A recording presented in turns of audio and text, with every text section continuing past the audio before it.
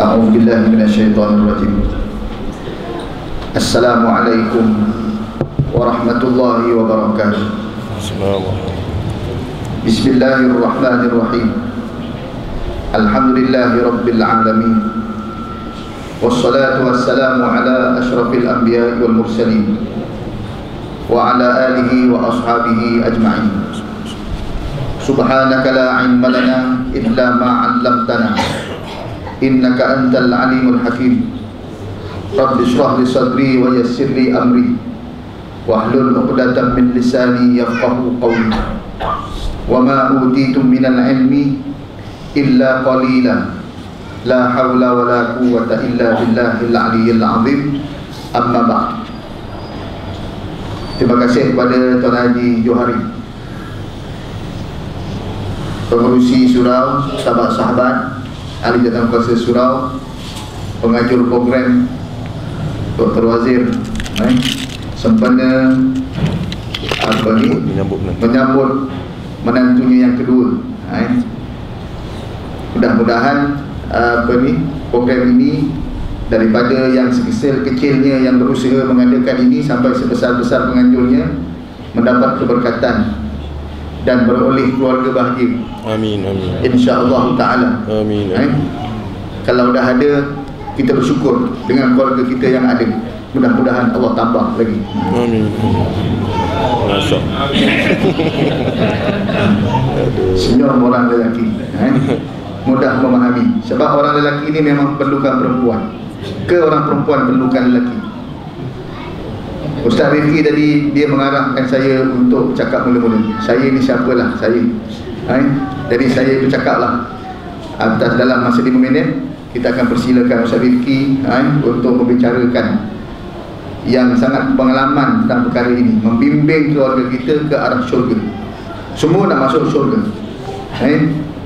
Orang lelaki perlukan perempuan Orang perempuan perlukan lelaki Sebab itu saya marah uh, Bila ada whatsapp-whatsapp yang cenderung kepada Memuji-muji ibu Sangat Sampai mengutuk bapa Dan ada pula whatsapp-whatsapp yang memuji-muji bapa Sampai hampir-hampir melidakkan kehebatan ibu eh?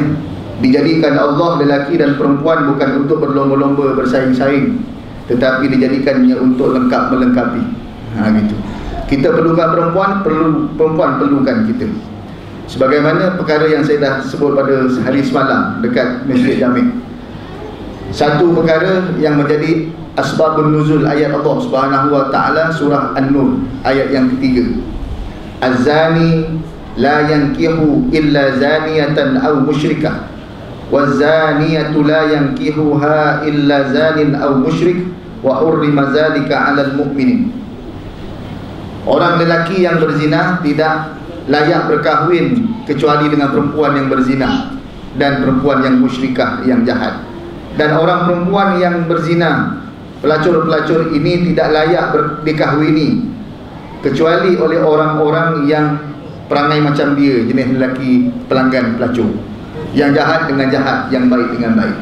Satu hari eh, dalam kisah yang disebutkan oleh Abu Yahamka Tafsir Al-Azhar. Saya tak pandai bahasa Arab Dia bahasa Melayu cukup dah baca ha, Kalau kalau Ustaz Rifki yang dia sebut bahasa Arab ni kitab Saya pun dah tak faham sangat.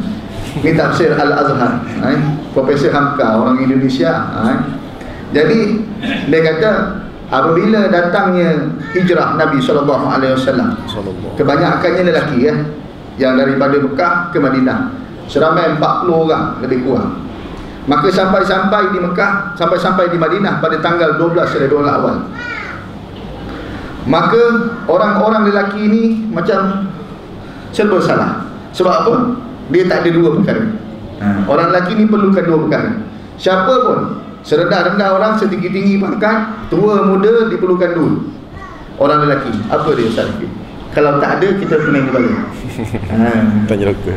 Ha, contoh dia tak tahu dah malam. Ha, iaitu dua. Ha. Yang pertama, duit. Nak survive diri kita. Eh? Bukan rokok, bukan kereta, ada duit semua boleh beli benda tu. Ha, kan? Jadi duit ada. Ada kerja.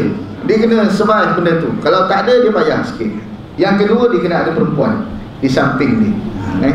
Kalau tak ada perempuan Tuan-tuan tengoklah Saya ni bergelumbangan kadang-kadang dengan asnaf-asnaf Jumpa ibu-ibu tunggal. Yang tua-tua lah ha? Ibu-ibu tunggal yang tua-tua. Saya jumpa lah. Ha? Ramai-ramai. Kalau yang muda-muda saya jumpa sendiri ha? Allahu Akbar. Jadi saya pun berjumpa Ibu tunggal Anak enam. Anak enam Ibu tunggal Suami tak ada Meninggal dunia. Rumah tersusun. Anak-anak cukup rapi Serapan cukup. Dia punya Apa ni Meja-meja semua okey lah Tak ada masalah Tak ada suami. Anak kecil-kecil. Sekolah menengah Sekolah ha. Tetapi cuba tengok Orang lelaki. Tak payah meninggal isteri. Ditinggalkan sekejap Pergi kursus isteri ni. Apa akan jadi rumah? Allahu Akbar. Dr. Wajib tinggalkan. Dia selalu tinggalkan bini dia je. Cuba sekali-sekali bini dia tinggalkan dia. Apa jadi rumah? Ha, kan? Menunjukkan orang lelaki ni sangat memerlukan isteri. Eh?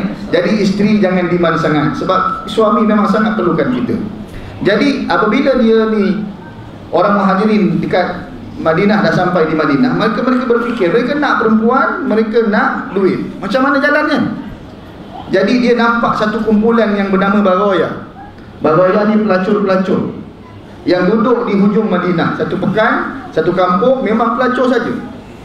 Siapa ni? Iaitu orang-orang yang duduk dekat pekan tu sebagai pelacur perempuan. Kalau ada orang datang apa apa ni pedagang-pedagang daripada Mekah ke daripada mana ke nak pergi berdagang singgah Madinah melacur dulu. Itu orang-orang jahiliah. Singgah dulu servis. Eh? Jadi apabila ketika itu berlaku macam tu, orang perempuan ini sangat jahat. Tiga kekurangan perempuan, dua kekurangan perempuan dan satu kelebihan perempuan ni. Iaitu yang pertama perempuan ni perempuan jahat Yang kedua tiada suami tak ada lelaki yang nakkan jadikan dia ni sebagai isteri Tak nak Maka dia duduk dengan perempuan-perempuan dia je lah. Tak ada isteri, tak ada suami yang nakkan dia. Tak ada orang lelaki yang baik nakkan dia. Yang nak dia pelanggan pelacur tu je. Kalau nak kat dia cuma layan nafsu je. Kahwin tak nak. Tapi kelebihan dia, dia ada harta. Ha, Dia banyak harta. Eh? Yang langgan dia bukan cikgu sekolah Bukan. Pedagang-pedagang Saudagar-saudagar. Cikgu tak ada Bolos pun tak ada Nak dari kampung berit balik. Ha. Jadi kalau pedagang-pedagang dia sangat banyak duit. Jadi dia kaya. Jadi sahabat-sahabat nampak Baroya ni Diberi cadangan kepada Nabi SAW Ya Rasulullah Kami ni perlukan perempuan Dan perlukan duit. Apa kata kalau kami Menikah dengan Baroya itu? Semua masalah selesai. Masalah pertama perempuan tu tak ada siapa lelaki nak kami nak. Mereka jahat. Tak ada siapa nak bimbing, kami muhajirin kami akan bimbing dia. Selesai masalah. Dia ada duit, kami ambil. Buat modal niaga. Selesai masalah. Selesai masalah. Tapi itu ikut kepala ataupun fikiran sahabat. Namun Nabi wasallam wa ma yantiqu anil hawa in huwa illa wahyu yuha. Tak pernah bercakap kecuali dengan wahyu. Maka Rasulullah menunggu wahyu Tunggu-tunggu wahyu turun ayat yang ketiga ni Tidak layak seorang lelaki Yang berzina Melanggar pelacur Berkahwin kecuali dengan perempuan-perempuan pelacur sahaja Dan perempuan pelacur-pelacur itu Wahai sahabat-sahabat Yang kamu nak kahwin dengan dia itu Tidak layak dikahwini Kecuali oleh lelaki pelacur sahaja Kau baik tak layak untuk mereka Ini larangan Rasulullah SAW Sekaligus memberikan pandangan kepada kita bahawa kita kena cari isteri yang baik-baik. Eh? Sebab itulah secara penyelesaian sahabat perkahwinan itu tadi ikut fikiran dia. Walaupun fikiran itu fikiran para sahabat, sahabat yang mulia telah dididik 13 tahun dengan apa akidah yang mantap oleh Nabi SAW di Mekah tetapi oleh kerana dia ni manusia tetap tidak akan betul fikirannya kalau tidak dipandukan dengan Al-Quran. Kita lagilah dididik dengan siapa akidah kita 13 tahun. Eh, kita tak faham-faham pun kadang-kadang. Cuba saya tanya, tiga kitab Ahli Sunnah wal Jamaah. Abang jawab sekarang. Tiga kitab, tiga je Ahli Sunnah wal Jamaah. Ha, jeling-jeling Ustaz Rifki. Ha, baru dia tahu. Wah, kita tak ada nak jawab. Eh, tapi tak apa. Dia ni dididik 13 tahun oleh Nabi SAW. Tetapi fikiran mereka beri idea tetap tidak akan bernas kalau tidak didasarkan dengan Al-Quran. Bayangkan penyelesaian manusia menyelesaikan masalah pada masa itu sahaja. Mungkin selesai masalah dia. Dia dapat isteri, dapat duit. Yang perempuan tadi dapat suami, dapat jadi baik. dan duit digunakan untuk niaga. Tak ada masalah. Bagaimana hilang, masalah muhajirin hilang. Tapi itu penyelesaian manusia. Hanya ketika itu sahaja. Tetapi apa akan datang? Apa akan jadi? Di masa akan datang sekarang, fitnah yang akan besar. Umat Muhammad, keturunan-keturunan muhajirin dan ansar lahir hebat-hebat pun daripada perut pelacur-pelacur. Nampak? Dan itu penyelesaian ikut Quran. Jadi bagaimana nak bawa anak-anak kita ke syurga, nak bawa isteri-isteri kita ke syurga adalah satu kerja yang sangat berat. Nak bawa diri kita ke syurga pun berat. Eh? Tetapi Allah tak sebutkan bawalah ke syurga. Cuma Allah kata ku anfusakum wa ahlikum nara lebih hebat dari itu ayatnya. Jadi menyelamatkan anak dan isteri daripada neraka. Itu lebih hebat. Daripada kita mengajak ke syurga, mengelakkan mereka daripada neraka lebih hebat ayatnya. Ha, eh? Jadi tuan-tuan nak masuk syurga ke nak elak neraka? Soalan pertama. Ha, cameraman. nak masuk syurga ke nak elak neraka? Dua-dua. Ha, dua-dua. Saya nak elak neraka je. Masuk syurga balik belum tentu elak terlepas daripada neraka. Sudah tahu? Ya Allah masukkan aku syurga masuk tapi setelah seribu tahun masuk neraka. Boleh? Tak nak, nak tukar lah. Tukar nak syurga je. Kalau kita elak daripada neraka, sudah tentu tak masuk neraka, dah tentu masuk mana? Sudah tentu masuk syurga. Ah, sebab itulah kehebatan kita meminta ialah tajuk kita tukar ini. Mem- mengelakkan isteri dan anak-anak daripada neraka. Ah, Allah. Boleh? Ha, jadi untuk mengulas cerita ni ha, Sekejap je lagi minit ha? Jangan tunjuk dengan muka ha? Saya jarang bersama dengan Ustaz Fikri Biasa nampak kat YouTube eh. ha, eh? Jadi tuan-tuan pada hari ini tadi petang Dalam pukul 3 Saya berhadapan dengan satu keluarga Tiga orang Adik-beradik Dia panggil saya ke rumah Sebab abang dia yang sulung nak pergi umrah bersama saya Lima hari bulan ni Tetapi penglihatan tak jelas Telinga tak dengar bila saya dah bagi empat kursus umrah, dia tak dengar. Rupa-rupanya. Abang nampak tak? Tak nampak. Eh? Dengar tak? Tak dengar. Nak baca nampak? Tak nampak. Jadi macam mana? Ustaz, saya nak datang rumah Ustaz ke? Ustaz datang rumah saya. Saya datang rumah dia. Dekat Sekudai Baru. Ha. Dia ni apa dia kena stroke tapi dah baik sekarang lah. Yang gantikan pampers dan apa semua adik-adik dia. Dia seorang abang long, yang lain adik-adik perempuan. Eh? Jadi jarang kalau isteri buat biasa. Ni adik-beradik buat kan. Oh dia. Ha ni hebat sungguh. Ha, jadi bila berbual pampers dia ni yang kencing dia ni semua adik-adik perempuan dia yang yang kerjakan. Jadi nak melahirkan anak-anak yang sebegini bukannya senang. Eh memerlukan asas perkahwinan yang hebat. Jadi mudah-mudahan Allah memberikan Dr. Wazir menantu-menantu yang baik-baik. Amin, Nak dapat amin, anak perempuan macam kecewa gitu. Ha? Dapat menantu je dia Tapi belum berputus asa. Mudah-mudahan kita gurau-gurau je santai-santai. Eh? Belum kecewa bukan maksudnya nak pasang dua tak. Eh? Belum kecewa. Allah, eh? Manalah tahu cucu saya anak sekali. Eh? Amin. Jadi tuan-tuan yang dikasihi Allah Subhanahu wa taala cara untuk mendapatkan isteri yang mudah untuk kita didik, anak yang mudah untuk kita didik mengelakkan daripada neraka, kita sendiri kena betulkan diri kita. Semayang kita, puasa kita, zakat kita, haji kita, pakaian kita. Anak-anak lebih banyak melihat daripada mendengar apa yang kita kata. Hai. Wa ashiruhun nabil ma'ruf kata Allah. Gaulilah anak-anak kamu, isteri kamu itu dengan baik. Dengan elok. Khairukum khairukum li ahlihi wa ana khairukum li ahli. Sebaik-baik kamu adalah orang-orang yang baik santun dengan keluarganya, dengan ahlinya. Aku adalah orang yang terbaik sebagai contoh untuk kamu ikut untuk kamu pandu bagaimana nak jadi suami yang baik. Eh, kata baginda Rasulullah sallallahu alaihi wasallam pada sahabat-sahabat, adakah kamu hendak aku beritahu kepada kamu ciri-ciri ahli neraka? Maka baginda sallallahu alaihi wasallam kata, iaitulah orang-orang yang bengking, bengis, cakap-cakapnya kasar dan cakap-cakapnya cakap yang bodoh. Bodoh, bangau, mau, tengking menengking. Itu ciri-ciri ahli syurga. Ahli Eh, ahli syurga, ahli neraka. Betul tak? Ahli neraka ciri-cirinya apa? Dia bengking sangat. Walaupun dia keadaan betul. Walaupun dia jenis ataupun dia di tempat yang betul, orang lain salah. Isterinya tak pakai tudung. Isterinya mungkin berkemban ataupun pakai kain ketat. Di halayak ramai ataupun ada membuat sedikit kesalahan. Suami yang baik menegur bukannya tengking. Ha, tengking-tengking ni adalah ahli-ahli neraka yang disifatkan oleh Nabi sallallahu alaihi wasallam. Tegur baik. Ha gitu. Apatah lagi isteri kepada suami. Nasihat. Jadi tuan-tuan, saya pun tak nak cakap panjang tentang perkara ni, nak cakap tentang perkahwinan, eh, tentang anak-anak ini saya serahkan kepada Ustaz Rifki. Sekejap je saya cakap.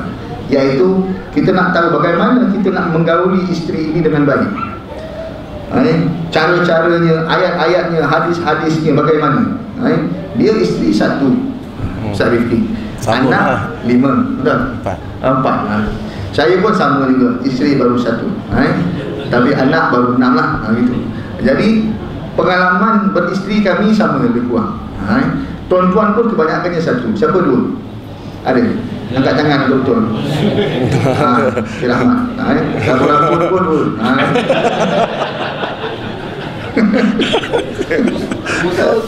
ha? Tak apa lah. Yang yang lain yang lain ni yang dua-dua ni kita ucapkan tahniah. Lepas ni kita PM tapi bagaimana cara ni. Jadi saya nak sebut Ustaz Rifki macam mana nak asyiruhun nabil ma'ruf. Cakap senang. Cakap memang mudah. Tapi nak buatnya susah. Ha, eh? Jadi bab-bab kerohanian ini, bab-bab akhlak ni cakap senang. Hendaklah kita berbuat baik pada mak bapak. Nak buat susah ha, eh? ha, gitu. jadi saya persilakan Ustaz Rifki ini bicara ilmu saya bagi masa dia sampai azan oh. azan kita berhenti kita sambung lagi Ustaz Rifki Allahu'alam salam Bismillahirrahmanirrahim. Alhamdulillah Wassalatu wassalamu ala rasulillah Wa ala alihi wa sahbihi Wa man wala amma ba'd. Yang kasih Al-Fadhil Tuan Guru saya Ustaz Halim Syah bin Muhammad Anwar. Banyak saya belajar dengan ustaz ni. Ha, saya dengar oh hebat Alhamdulillah saya dapat digandingkan dengan seorang yang hebat. Jadi bila bila ada air ni tanah dia tak boleh buat tayamum dah dia kena guna air jadi saya tanah ustaz. Air. Ha, jadi kita kena bagi kat dia banyak. Tapi bila nak basuh najis mughallazah tanah kena ada juga. Tak boleh air sekali-sekali. Ha, baik. Uh, yang dikasihi uh, pengerusi surau yang dikasihi uh, penaja program kita Prof uh, Dr. Wazir Alil Tiang Kuasa Sosial Muslim Muslimat yang dirahmati Allah sekalian. Kalau kita tengok apa yang disebut oleh uh, Al-Fadil uh, Ustaz Halim tadi tentang ayat yang terakhir sekali tadi wa'ashiruhunna bil ma'ruf antara salah satu cara nak dapat anak-anak dan keluarga yang baik Allah Taala sebut wa'ashiruhunna bil ma'ruf. Hendaklah kamu bermuasyarah. Hendaklah kamu semua bermuasyarah maksud dia bergaul dengan isteri dengan sebaik-baik cara, bil ma'ruf dengan sebaik-baik pergaulan. Dan kalau kita tengok Nabi sallallahu alaihi wasallam sentiasa ha, menasihati para sahabat dengan hadis-hadis baginda supaya berlaku baik kepada isteri. Ittaqullaha fin nisa. Nabi sebut, ittaqullah bertakwalah kamu dalam bab perempuan fa innakum akhadhtumuhunna bi amanatillah. Sesungguhnya kamu mengambil mereka dengan amanah Allah. Bukan kecil dengan amanah Allah. Wastahlaltum furujahunna bi kalimatillah dan halal kamu bersama dengan mereka. Asalnya haram laki perempuan ni. Bukan mahram. Haram tengok haram sentuh haram segala-galanya. Kan? Tapi jadi halal.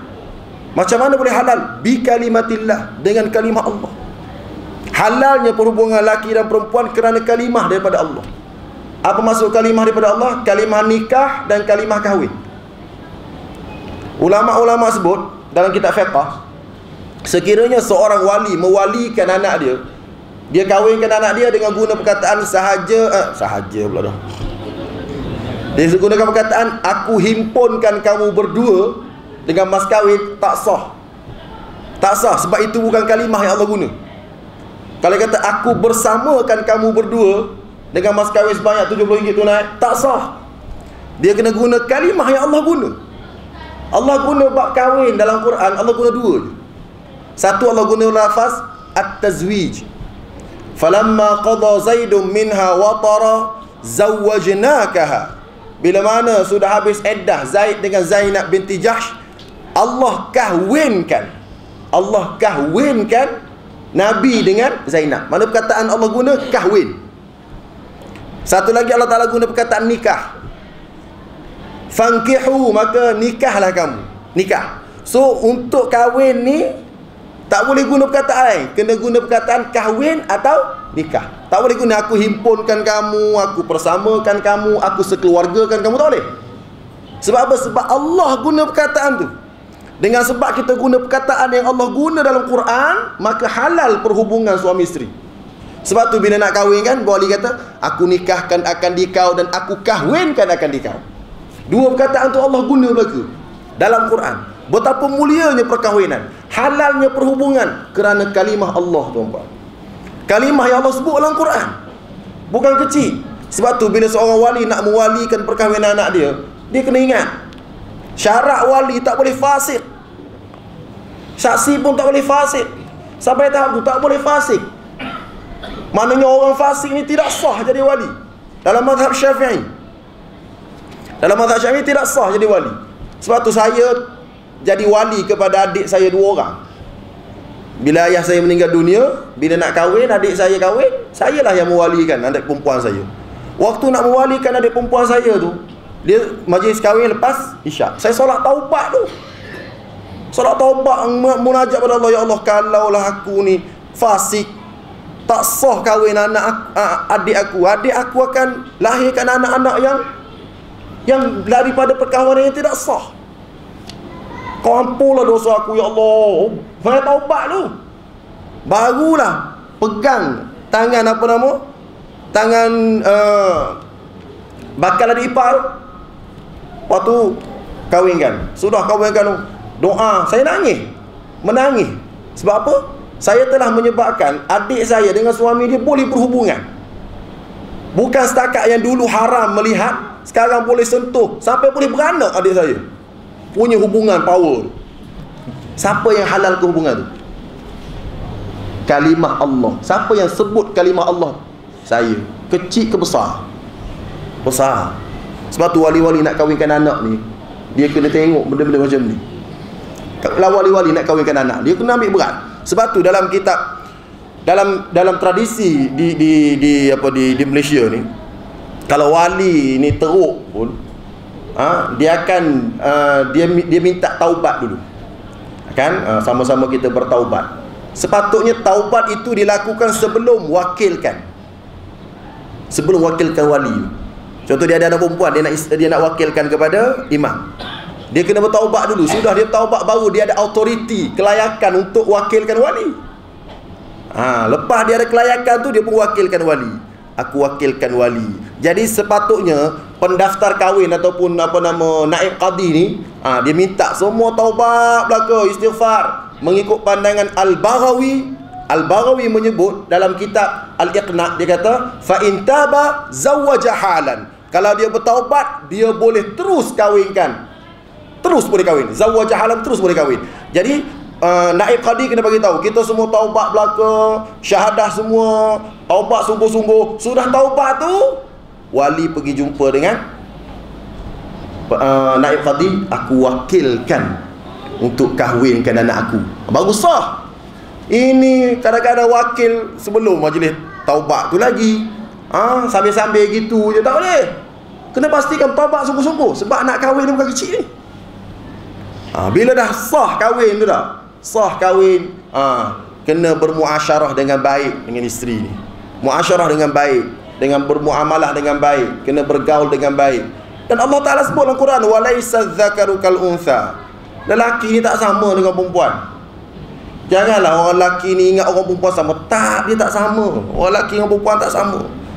Saya biasa sebut banyak benda ni. Banyak kali benda ni. Sebab kadang-kadang orang lelaki ingat orang perempuan ni sama. Tak dia beza.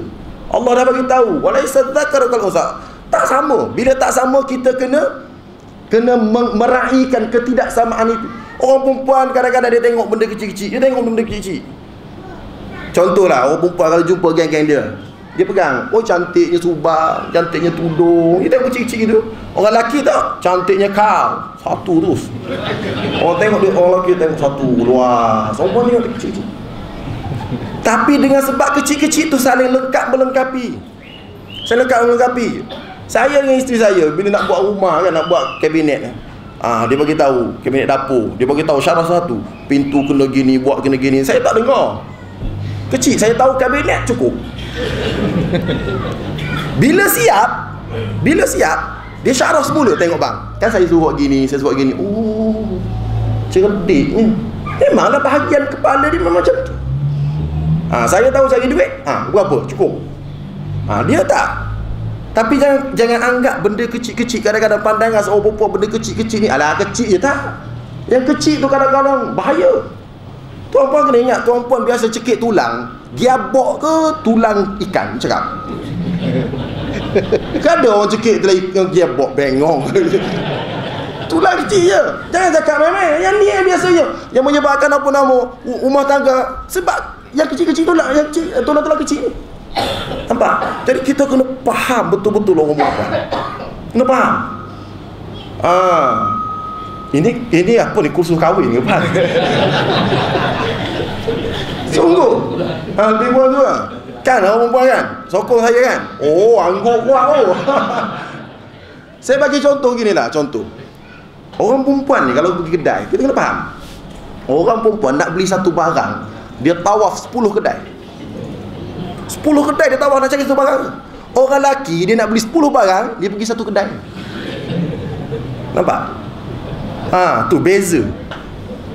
Minta maaf lah ini beza ni mungkin lawak tapi benar. Nak tahu beza lelaki perempuan tengok. Tengok seluar dalam kat shopping komplek je. Suara dalam perempuan kat shopping komplek Mana dalam kotak? Tak ada dalam kotak dia. Suara lelaki Dalam kotak sebab apa? Sebab laki ni dia senang. Dia datang mana M, mana S, XL. Tu je. Dia ambil dia balik. Dia pakai kalau rasa ketak, dia tahan 2 minggu. Besar. Okey. Orang perempuan tak boleh letak dalam kotak. Dia letak Ya, letak lambat lagi sebab apa dia ambil dia tengok selai selai dia tarik tarik. Tapi kalau letak dalam kotak, andai orang perempuan letak dalam kotak, habis kotak dia kerja kan? Tengok beza kan? Beza. Okey. Yang ni satu benda yang amat penting untuk kita faham orang perempuan. Itu baru cerita bab tu. Oh, seronok ni eh. Ah, itu cerita perempuan. Ah. Jadi hari ni jadi pakar perempuan. Ha, tu cerita. Maknanya beza laki dan perempuan. Sebab tu kalau kita tengok Nabi sallallahu alaihi wasallam kan, dia banyak bergurau dengan Aisyah radhiyallahu anha kan. Tengok kehidupan Nabi masya-Allah, cerdik sungguh Nabi, bijak sungguh Nabi. Amat bijak walaupun ramai dia dapat dia dapat urus sebaik-baik cara sehingga mereka semua puas hati bersuamikan Nabi sallallahu alaihi wasallam. Kita seorang pun Allah seraput. Seorang je seraput nak urus seorang ni. Ha, jadi kebijaksanaan yang amat perlu bab ni. Ha, jadi kalau kita tengok Nabi sebut wa'ashiruhunna bil ma'ruf. Ha, tu mula-mula kena muasyarah dengan baik. Sebab tu mula-mula kahwin kan mula-mula kahwin Nabi suruh kita solat hajat eh, solat idza dakhalta ala ahlik. Bila kamu masuk jumpa dengan isteri kamu okey apa kamu buat? Uh, fasalli rak'ataini. Hendaklah kamu semayang dua rakaat. Dan yang ni saya tak setuju sangat-sangat orang semayang kat masjid. Ni orang perempuan bila sudah akad semayang kat masjid dua rakaat. Eh Buat apa kita pamer Kena pakai gaun ketat pulaknya Dia punya rokok Masya Allah Dia punya sujud dia Imam nak demam tu. Tu kerja kat rumah malam karang. Malam karang dua orang ni kat rumah solat. Solat dua rakaat Sudah solat tu dia baca doa. Sudah solat dia kena baca doa tu. Allahumma barik li fi ahli. Ya Allah berkatilah aku sebab aku dapat isteri aku. Wa bariklah hafiyya Dan engkau berkatilah dia kerana dapat aku wajma' bainana bi khair. Dan adalah kamu himpunkan kami semua dalam kebaikan. Lepas tu apa Salim? tak sempat doa. Tak sempat doa. Tu jawab. Saya tak ingat. Saya tak ingat. Saya tak ingat sebab saya doa sekali dulu. Lepas tu tak doa tak boleh lepas tu kahwin hari pertama dulu doa. Lepas tu sebab dia doa tu sunat malam pertama kan. Jadi Seorang tu lah malam pertama tak ada lah malam seterusnya. Ha. Jadi kalau nak amal ayat eh, doa ni ialah faham-faham lah. Baik. Dia ajar lepas doa dengan doa minta berkat tu, dia suruh paling belakang pegang pula ubun-ubun isteri. Pegang. Pegang ubun-ubun Allahumma inni as'aluka khairaha. Yang ni saya ingat. Kenapa ingat? Sebab Nabi sebut manishtara dabbatan au jariyatan. Siapa-siapa apa nama uh, membeli dabah apa uh, uh, kenderaan atau membeli mana-mana hamba ataupun kahwin hendaklah dia pegang ubun-ubun dan baca. Jadi saya biasa beli kereta, beli motor, saya baca. Yang ni saya ingat sebab saya bukan buat sekali tu. Ha. Jadi Allahumma inni as'aluka khaira. Beli apa-apa pun tuan-puan. Beli peti sejuk ke pegang. Pegang supaya maksud dia ya Allah aku nak yang baik je dalam benda ni. Yang baik yang tak baik aku tak nak. Allahumma inni as'aluka khairaha wa khaira ma jabaltaha alai wa a'udzubika min syarriha wa syimana jabaltaha alai. Alai. Ha tu doa. Doa baca untuk apa? Bila untuk beli barang apa-apa baca. Kereta ke motor ke apa? Baca. Insya-Allah. Barang tu kalau patut tahan 10 tahun dia boleh jadi 15 tahun. Sebab kita nak yang baik. Ha, jadi saya pegang umur isteri pegang lepas tu baca doa. Surah baca doa tu ha, itu malam pertama. Jadi saya buat soal selidik kepada guru-guru besar di sebuah negeri. Dia panggil saya ceramah. Saya ceramah tajuk ni. Saya tanya ikhlas, saya tanya wahai guru-guru besar sekalian. Saya kata. Ha, waktu tu dihimpunkan guru-guru besar tu di Good Hope Hotel. Di Good Hope, saya pergi ceramah ambil kuliah maghrib. Saya tak nak ceramah tajuk pendidikan sebab dia guru besar. Saya kata saya nak ceramah tajuk bagaimana nak melahirkan anak soleh. Ha, saya pun tanya soalan. Ni semua ni saya sebut ni. Saya sebut semua ni yang mula-mula kena pegang hubung nak tanya ikhlas guru-guru besar ni. Buat ke tak buat malam tamu dulu? Dia jawab secara ikhlas. Tak sempat ustaz. Dia jawab ikhlas. Rupanya ada juga seorang lagi kat sini. Saja dia kurang Saya tahu saja dia, dia buat Allah ha, Kalau tak buat Boleh kotor tak ha, Mana nak, nak cerita apa? Nak cerita betapa orang tak tahu benda macam ni. Itu mula-mula tu. Lepas tu Muasyarah seterusnya Kena bergaul dengan baik. Sampai Nabi kata Rahimallahum ra'an Qama minal layli Antara orang dapat rahmat Allah.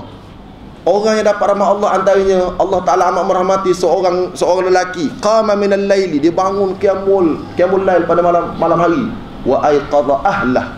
Dan dia kejut pula dia. Kalau isteri tak nak kejut dia renjis air. Bergurau renjis air suruh bangun. Allah rahmat keluarga macam ni. Ha, itu contoh. Ada buat? Man, tak, pernah tak renjis kat buku isteri? Malam ni terus bawa sabeldi tu tidur malam tu. Kejut tak bangun ambil, oh renjis tu kita nak amal kerana kita nak rahmat Allah daripada hadis Nabi wasallam. Ha ini contoh-contoh mana apa nama satu muasyarah yang amat-amat baik dan saya rasa kena cari satu satu waktu untuk cerita macam mana kehidupan rumah Rasulullah sallallahu alaihi wasallam. Ha macam mana dan buku ada buku Muhammad Mahdi Al-Istanbuli boleh beli karangan uh, Muhammad Mahdi Al-Istanbuli tajuk dia uh, isteri-isteri dan anak-anak dan puteri-puteri Rasulullah sallallahu alaihi wasallam. Terbitan Telaga Biru. Saya beli dan saya hadiahkan kepada isteri saya. Isteri saya baca dia kata dia baca kemudian satu kali tu saya naik kereta dengan dia. Dia kata bang baguslah buku ni dia kata. Waktu ada satu satu tempat tu saya nangis baca. Betapa mesranya isteri-isteri Nabi. Dan Nabi pandai bujuk. Ada cerita-cerita Aisyah cemburu kan. Saya baca saya nangis dia kata. Oh, tapi Nabi pandai ha? mesra sangat ya ha, sampai dia uh, sampai saya ter, apa nama terharu baca kisah isteri Nabi pandai Muhammad Mahdi Istanbul itu dia cantik baik saya kata baguslah dapat manfaat awak bila lagi oh dia eh, dah dah dah dah dah marah dia dah dah terus dia. Takut ya ha, baik. Jadi nak cerita apa? Nak cerita itu dia ashiruhun nabil ma'ruf. Ha, kena muasyarah dengan baik. Bila kita muasyarah dengan baik bila dah biasanya bila dah dah dah baik dah bagus akan lahirkan anak yang soleh-soleh kan? Lahirkan anak-anak yang soleh-soleh orang dapat nikmat. Biasanya orang umur 40 dia dapat nikmat umur 40 biasanya dia dia sudah cukup lah. Dia sudah cukup apa? Dia sudah cukup ada isteri yang baik ada rumah yang baik ada kenderaan yang baik. Ada apa lagi? Ada anak-anak yang, yang yang ramai. So dianjurkan dalam al-Quran untuk kita baca doa. Rabbi auzi'ni an ashkura ni'mataka allati an'amta alayya wa ala walidayya wa an a'mala salihan tardah wa aslih li fi dhurriyyati. Inni tubtu ilaika wa inni minal muslimin. Ini doa orang bapa dulu untuk syarah doa ni saya minta Al-Fadhil Ustaz Ustaz Hamim syarah selepas azan. Syarah panjang sikit Ustaz eh? sampai subuh tak. Insya-Allah. Wallahu a'lam. Kita azan dah. Alhamdulillah minasyaitanir rajim. Bismillahirrahmanirrahim. Walhamdulillah wassalatu wassalamu ala Rasulillah sallallahu alaihi wasallam. Tuan-tuan yang dikasihi dan dirahmati Allah Subhanahu wa taala. Mendengar apa yang Ustaz Rifki sebutkan tentang doa-doa terasa macam kita nak mengulang semula umur kita. Hai, rasa meronta-ronta jiwa untuk kembali kepada usia yang dulu untuk pernikahan yang baru. Jadi tuan-tuan yang dikasihi Allah, kita ni dulu mula-mula jahil. Eh? Ustaz Rifki ni mula-mula memang alim dah dari kecil. Ha? Tuan-tuan nampak saya punya janggut ni macam ni je. Lima tahun kebelakangan ni je. Ha, kan? Dulu-dulu tak ingat benda-benda ni semua tuan-tuan. Tapi kita merasa menyesal. Eh? Tapi Allah Subhanahu Wa Taala tak ajar kita menyesal begitu. Eh? Allah dulu kenapa lah tak ada. Allah bagi peluang kepada kita apa lagi apa apa ni sedangkan kita masih ada nyawa masih tu ada peluang ni. Eh? Kita boleh bentuk keluarga kita menjadi yang baik. Beri peluang lah. Eh? Jadi kita boleh mulakan perkara yang baru insya-Allah. Tuan-tuan yang dikasihi dan dirahmati Allah Subhanahu wa taala. Doa Ustaz Rifki sebut tadi 40 tahun sebab tahun ni umur dia genap 40 tahun. Eh dia nak sebut dia dah 40 tahun. Itu je sebenarnya. Eh, dia tak cakap biasa ni untuk saya lebih tua. Ha, tapi hari ni dia tak cakap pun.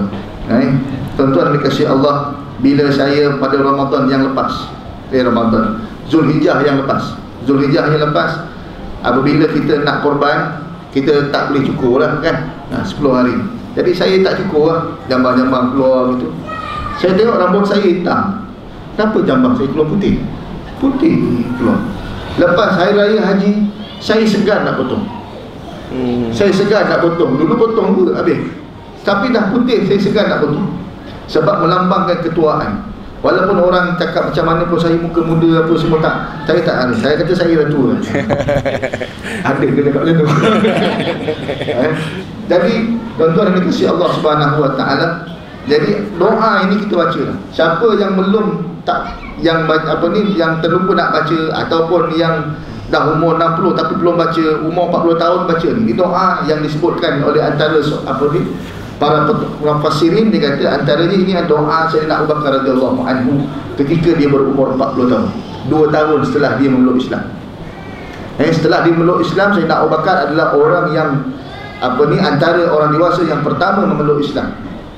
Eh, antara lain Sa'ad bin Abi Waqqas dan sebagainya lah. Eh, jadi tuan-tuan yang dikasihi Allah Subhanahu wa taala Sayyidina Abu Bakar ni walaupun dia memeluk awal Islam, tetapi ayahnya Siapa nama ayah dia? Hafah. Abu Quhafah. Abu Quhafah pun nama gelaran juga tu. Siapa nama bapak dia? Osman. Osman nama bapak dia. Jadi nama Abu Bakar, siapa nama dia? Abdullah. Abdullah bin Osman nama Sayyidina Abu Bakar sebenarnya. Ha, jadi Abu Bakar bin Abu Quhafah. Jadi apabila dia masuk Islam saja umur 38 tahun, Nabi SAW dapat wahyu 40 tahun, dia 38, dia masuk Islam umur 38. Tahun itu juga. Tahun yang sama. Kemudian apabila umur dia 40 tahun dia baca doa ini. Yang Ustaz Rifki sebut Ustaz Rifki apa? Saya tak hafal sangat. Tak baca lagi. Hmm, tak baca lagi. Allah Subhanahu wa taala berfirman, "Hatta idza balagha ashuddahu wa balagha arba'ina sana." Apabila dia berumur 40 tahun, qala, maka dia berkata, siapa yang sini umur 40 tahun, kita baca doa ni. 40-an ha, pun tak apa. Eh?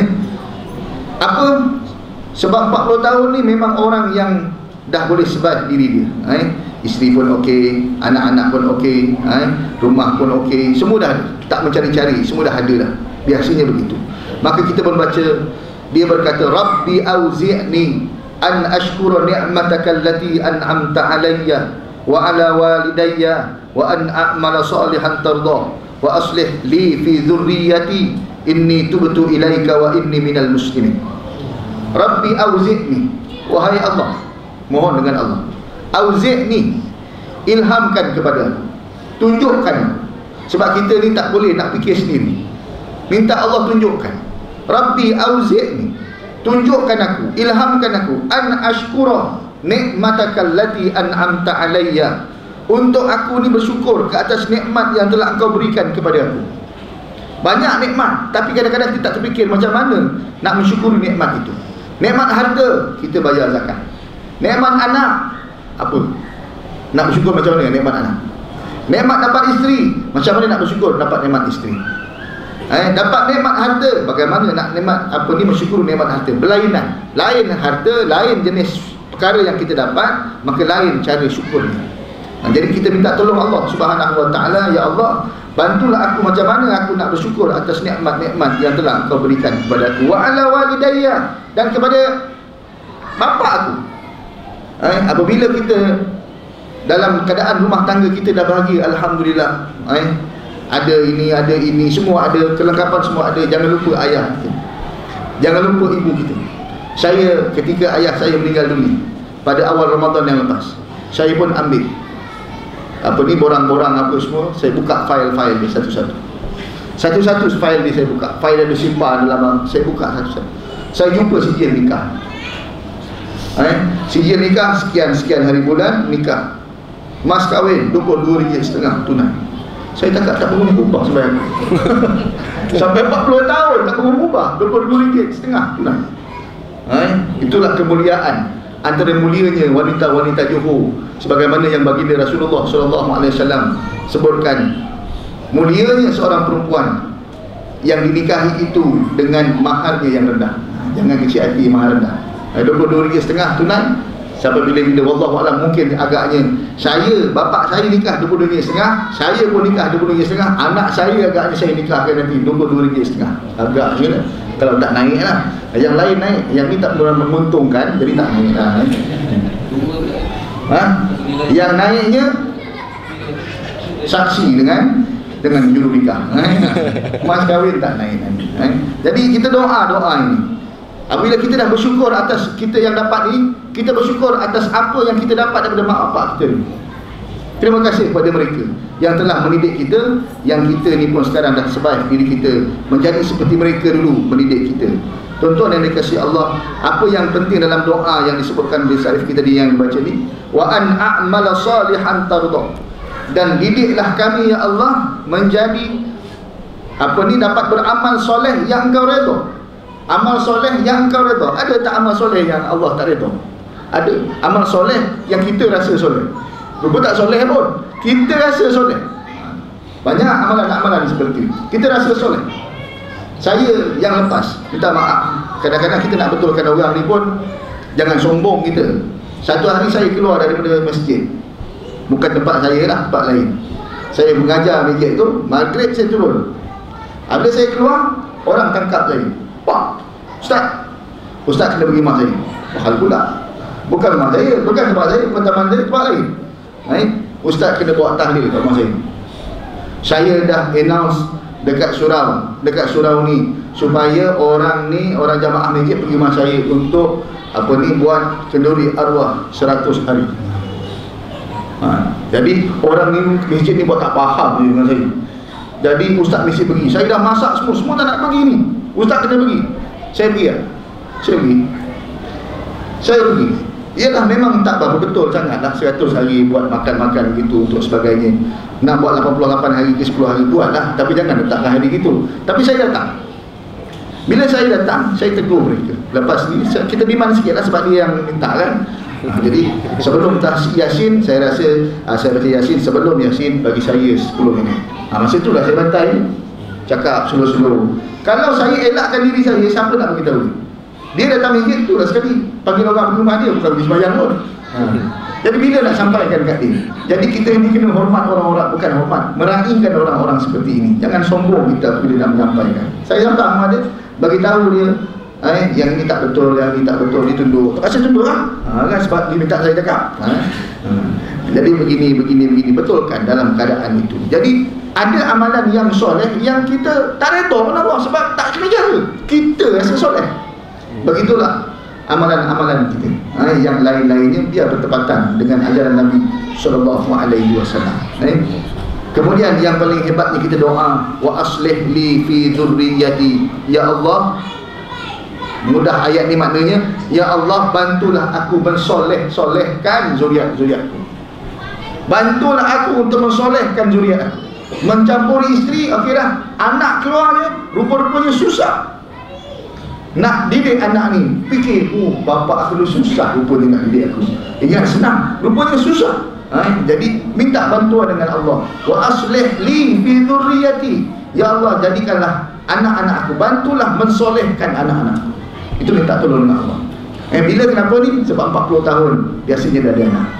Kadang-kadang eh, Dah ada dua isteri Satu anak dan sebagainya. Inni tubatu ilaika. Pada hari ini Aku bertaubat kepadamu Wahai Allah. Agaknya di sinilah orang Melayu kata Siapa 40 hari tak taubat? 40 tahun tak taubat memang teruk lah. Jadi 40 tahun Dia bertaubat. Inni tubatu ilaika Ya Allah, sesungguhnya aku bertaubat padamu pada hari ini.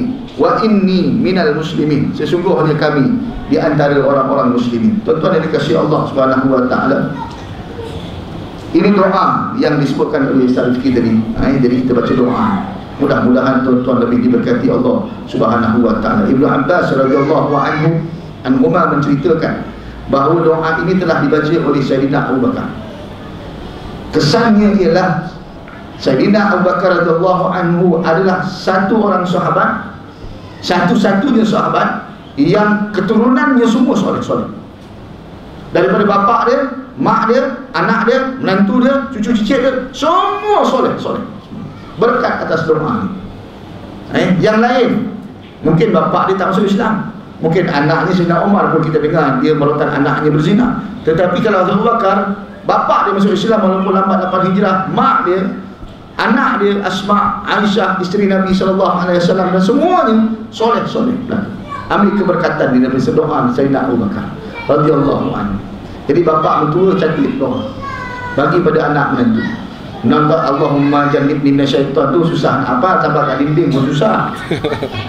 Takkan dengan tu tak tengok dinding Mana sempat. Tak boleh hafal Bahasa Melayu boleh. Tak ada masalah. Ya Allah Hilangkan aku daripada gangguan syaitan bismillah jalan ha, kan? tak payah susah-susah ha. benda tengah ha, eh? Allah Alam jadi benda jangan susah-susah tengah doa-doa biasa Melayu jalan ha, eh? insyaAllah jadi tuan-tuan yang dikasih Allah Perkahwinan ini adalah ikatan perkahwinan Untuk orang lelaki dan perempuan Saling suka bersukaan eh? Jadi siapa yang berkahwin Untuk tujuan yang lain Dilarang dalam Islam ada satu tajuk dalam bab fiqah namanya tahlil. Tahlil ini dilarang dalam Islam. Tahlil apa tahlil? Tahu tahlil? Bukan tahlil taha budak tu. Kalau tahlil tu la ilaha illallah. Ini tahlil. Apa tahlil? Apa betul betul. Ha, tahlil, muhallil dan muhallal lahu. Muhallal lah. Iaitu Cina buta. Ha, tahlil. Cina buta ni diharamkan dalam Islam. Eh, contohnya apa dia? Apa ni? Si apa ni seorang perempuan nama katalah Munah dengan Karim berkahwin. Apabila kahwin-kahwin Karim gaduh dengan Munah. Gaduh cerai talak tiga. Tak boleh lagi nak berkahwin semula kan? Jadi macam mana? Munah pun murah Karim pun menyesal. Nak kahwin semula tak boleh. Dah duduk tunong jadi si Mamat yang ni nak jadi hero. Ha, kan? Aku ni kawan si Karim. Kesian pula aku tengok si Karim. Macam dah bongok gitu Aku tengok dah gitu Dah macam gila talak. Jadi aku nak murad si Munah Tanpa pengetahuan Karim Murad si Munah Dengan tujuan apa? Lepas aku gauli sekali Aku nak ceraikan si Munah Karim tak tahu? Ini khidmat mamat Mamat saja nak bagi jadi hero. Eh? Tujuannya apa? Tujuannya bukan saya nak kemudah tu. Tak. Tujuan saya untuk menjadikan munah halal semula dengan karim. Itu tahlil. Baik-baik tahlil. Ha. Jom majlis tahlil, ha, kan baik-baik. Benda ni diharamkan dalam Islam. tahlil lain pula abang tahlil ke tahlil ni. Ha. Jadi apabila si mamat ni dalam akad nikah dalam mazhab Syafi'i sebut kalau dia nikah disebut Aku terima nikah si Mona binti Fulan dengan mas kahwinnya RM50 setengah tunai Dua bulan lagi setelah setubuh sekali aku ceraikan. Batal terus pernikahan ketika itu. Sebab disebut dalam akad nikah. Jadi muta'ah lah. Sebab ada kaitan muakkatah. Ada muakkat yang apa ataupun ada waktu tertentu. Tapi kalau hanya dalam hati dalam hati cimamak Aku terima nikah si Munah binti Fulan dengan mas kahwin RM50 setengah tunai. Dua minggu lagi cerai. Sebab aku nak ceraikan, aku nak bagi si Karim kesian si Karim. Maka apakah jadi pernikahan itu? Sah tak sah? Dalam hati imam tak tahu. Munah pun tak tahu. Munah ingat, wah si Mamat suka kat aku. Tak ada, senyum-senyum. Rupanya dia kesian dekat Karim.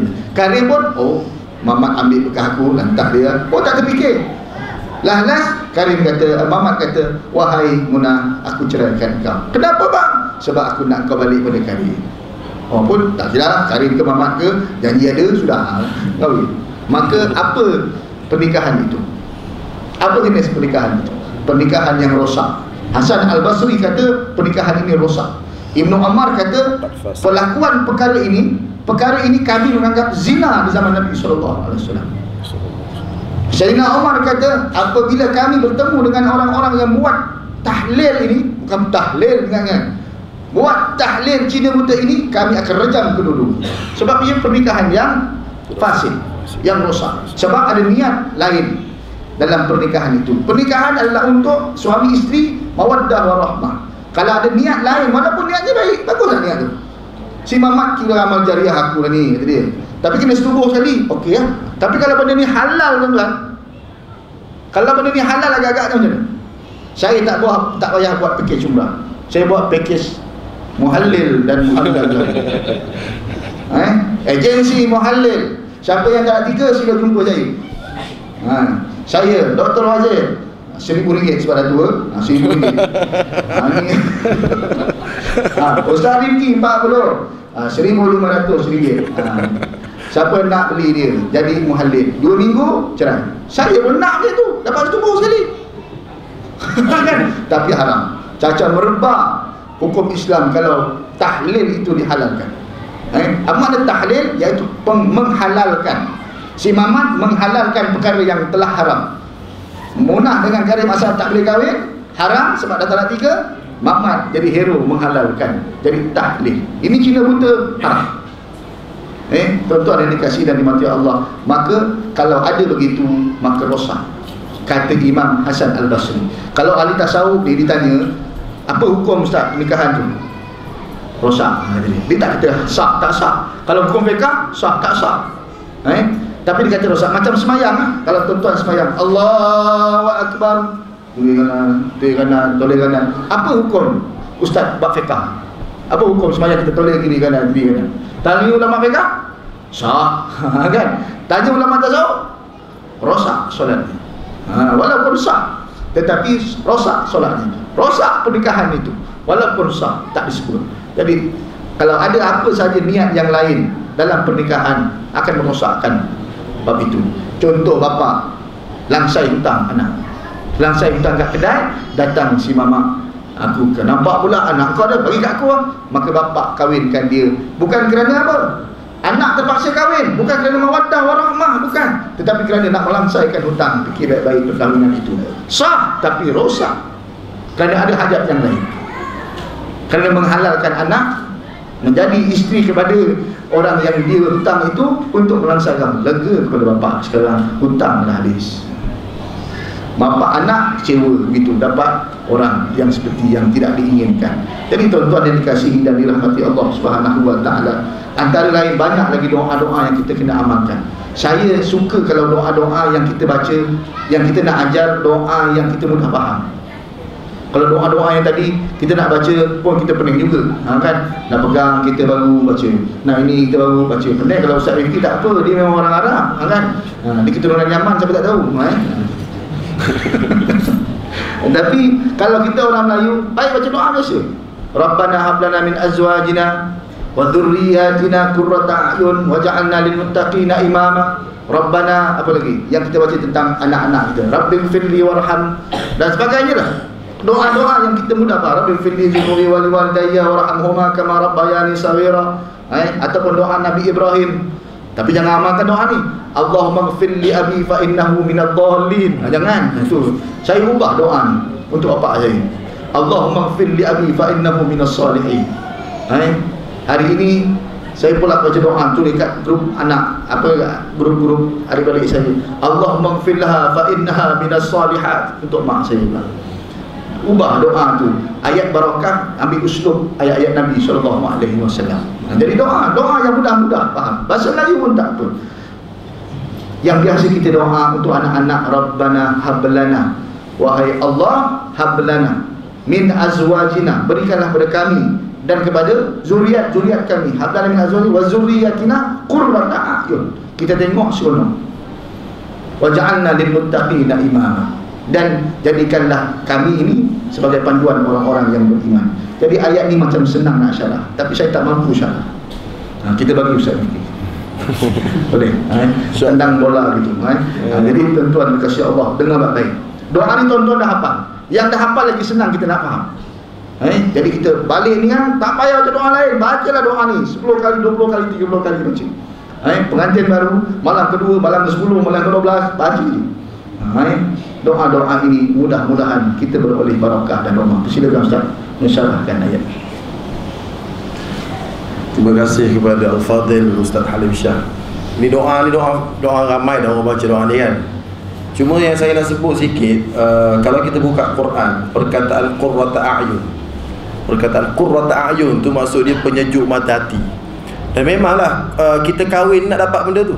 Nak dapat sejuk hati. Allah Ta'ala sebut Wa min hayatihi an khalaqalakum min anfusikum azwaja Antara tanda-tanda kuasa Allah Allah ciptakan kamu tu ada pasang-pasangan Maka objektif kahwin ni litaskunu ilaiha untuk kamu ada sakinah. Taskunu tu biar kahwin ada sakinah. Okey. Tu pertama, kena ada sakinah. Bila kita kahwin kita rasa tenang. Ha, saya tengok saya dulu kahwin, sebelum kahwin kan. Sebelum kahwin baju tak iron apa semua. Bila kahwin rasa tenang. Alhamdulillah. So dapat.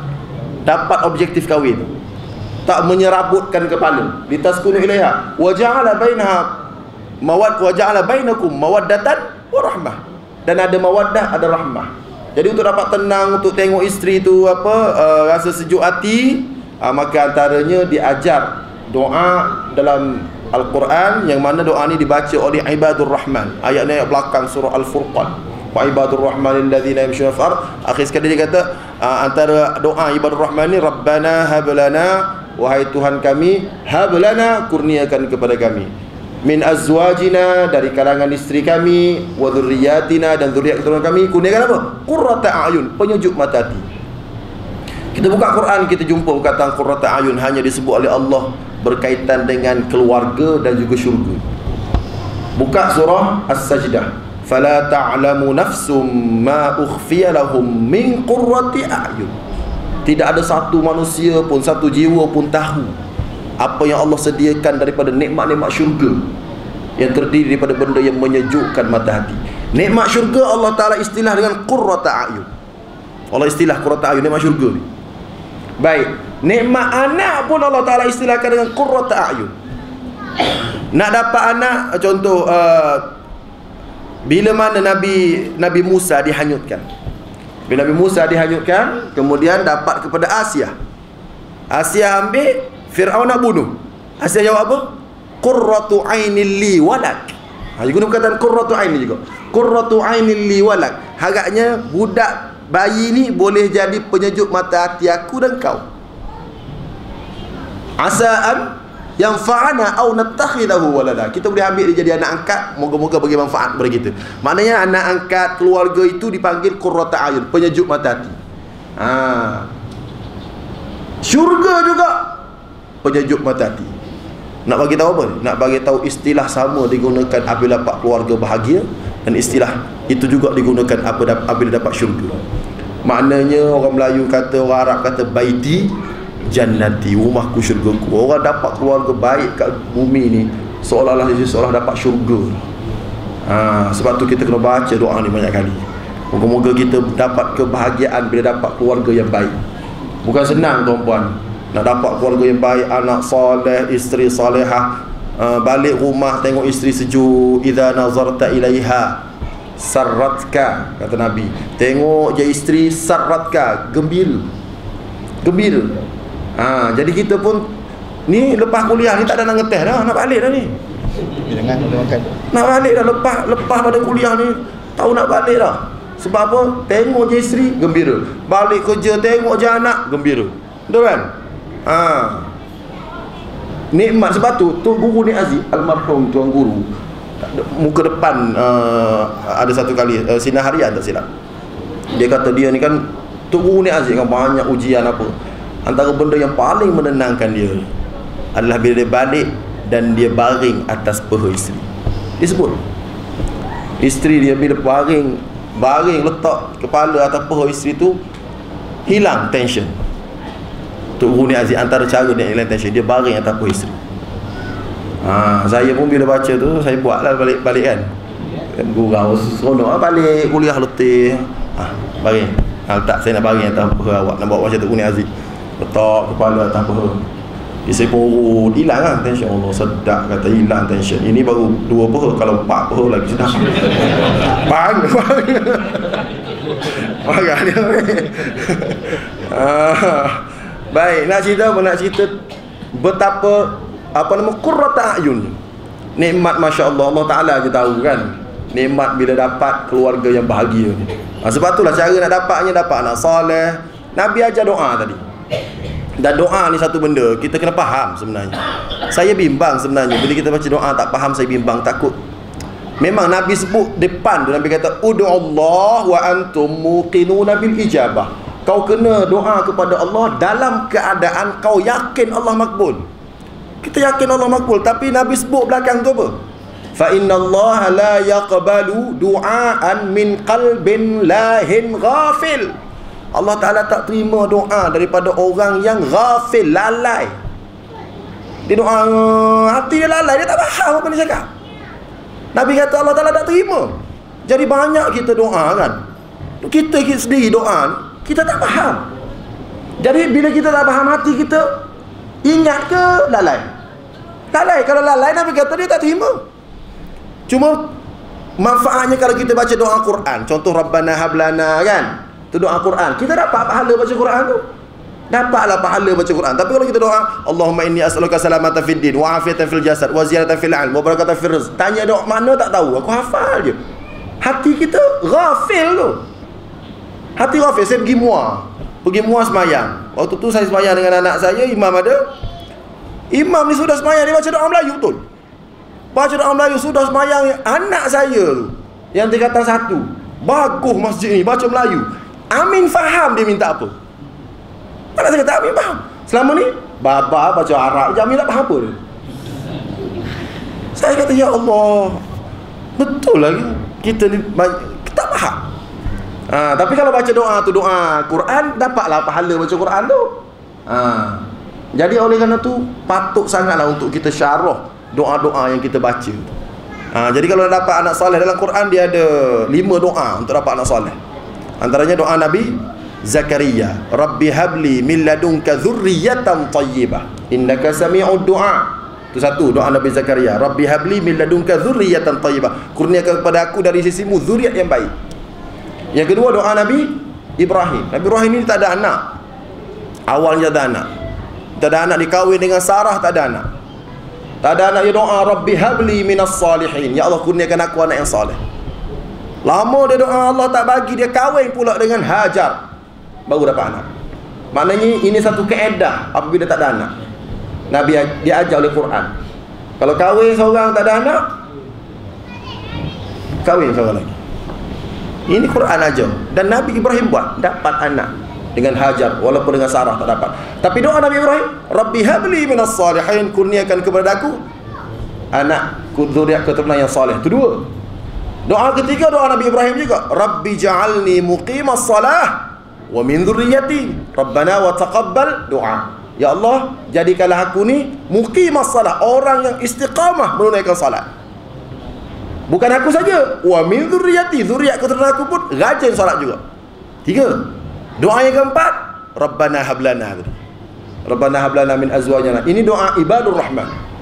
Yang kelima, Rabbi auzi'ni an ashkura ni'mataka allati sebab ada belakang tu wa aslih li fi dhurriyyati. Ada lima ni kombinasi doa-doa untuk dapat anak soleh dalam Al-Quran. ha, maknanya adalah diajar kepada kita doa-doa dalam al-Quran dan kita boleh amalkan dan yang paling penting faham yang paling penting faham jadi waktu ni lah saya sebut bila kita ingat balik apa yang almarhum ayah kita buat pada kita kita akan rasa sedih rasa terharu. Waktu saya tingkatan satu darjah enam darjah enam nak masuk tingkatan satu uh, saya dapat tawaran sekolah menengah sains Dungun saya dapat sekolah menengah Sultan Mahmud. Waktu tu saya biasa dapat 4A 1B 4A 1B tapi saya main bola wakil negeri Kelantan. Waktu tu. Jadi saya punya kurikulum okey wakil negeri Kelantan lah maknanya Khairul Fahmi apa tu semua apa nama tu semua senior junior saya lah tu. Uh, maknanya saya main bola wakil negeri waktu tu wakil negeri Kelantan jadi ada sekolah kat Kelantan sekolah Ahmad Mahir. Sekolah yang melatih orang untuk lahir sebagai pemain bola sepak. Dan saya memang dapat tawaran sekolah-sekolah ni saya nak pergi sebab saya nak main bola. Dan saya nak jadi pemain bola sepak. Waktu tu saya cukup minat Fandi Ahmad. Waktu tu Fandi Ahmad main apa nama FC Groningen lawan UEFA uh, U, U, U, apa lawan Inter Milan waktu tu dia masuk gol. Anak Melayu boleh buat gol dalam apa nama piala liga-liga juara. Tahu tak kayak gini ha. Maknanya hebat Fandi Ahmad saya suka. Waktu tu saya ingat lagi gaji Fandi Ahmad 17000 banyaklah waktu tu 17000 saya tahu sebab dia main Pahang. Dia main pasukan Pahang dia tulis gaji Fandi Ahmad 17000 waktu tu. Minat minat sungguh jadi almarhum ayah saya kata eh minat sungguh ni dia hantar saya sekolah mahal saya pun berontak. Tak puas hati. Nak main bola je ayah kata tak boleh awak kena jadi ustaz. Ayah nak kau jadi ustaz. Belajar paksa. Saya pergi sekolah sedih. Sebab apa? Kena jadi ustaz. Saya nak main bola. Tu saya cakap betul ni. Bila balik ayah saya tengok eh Muhammad Rifki ni apa nama tak puas hati dia ajar saya petang-petang.